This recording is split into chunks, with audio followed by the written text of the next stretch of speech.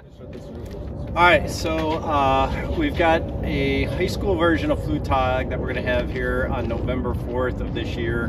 Um, we're going to invite teams of high school kids to build basically a large foam board glider made out of Home Depot foam board. Um, so today, this is a trial run and kind of uh, to give you guys an idea of what to expect.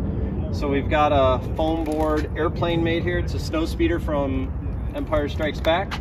We're gonna give it a chuck off the building and uh, this is the kind of thing that we want you to build and bring out and uh, fly at taking flight on November 4th. Uh, we'll have prizes for the top three. We'll have a prize for uh, the furthest flight. We'll have a prize for the longest or uh, longest hang time, and we'll also have a prize for the best decorated airplane. All right, so here we go. This is the test version of uh, Flugtag or high school um, foam board challenge for taking flight. Garrett made a look-alike snow speeder here. We got Permeet down there recording.